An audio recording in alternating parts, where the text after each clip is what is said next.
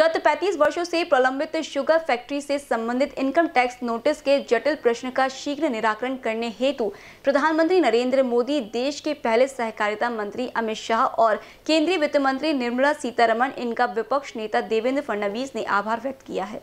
मैं आदरणीय प्रधानमंत्री जी का बहुत बहुत आभार व्यक्त करना चाहता हूँ और साथ में भारत के पहले सहकारिता मंत्री अमित भाई शाह जी का भी बहुत बहुत आभार व्यक्त करना चाहता हूँ कि पिछले 35 सालों से जो चीनी उद्योग पर इनकम टैक्स की एक तलवार लटकी थी, जिसके कारण किसानों को ज़्यादा पैसा अगर दिया तो इनकम टैक्स भरना पड़ता था। और कई केसेस पेंडिंग थी 9000 करोड़ का बकाया चीनी मिलों पर इसलिए निकाला गया था कि उन्होंने किसानों को ज़्यादा मुनाफा दिया। ऐसे सारे ये जो निर्णय थे, इसको रद्द करने का नोटिफिकेशन आज केंद्र सरकार ने निकाला है।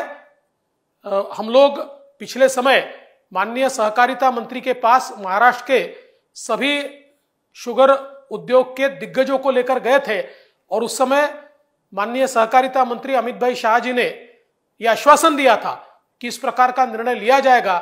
35 साल से जो चीज़ नहीं हो पाई थी, उसको इस समय मोदी सरकार ने किया है। मैं माननीय मोदी जी का और अमित भाई का और वित्त मंत्री महोदया का भी बहुत बहुत आभार व्यक्त करता हूँ।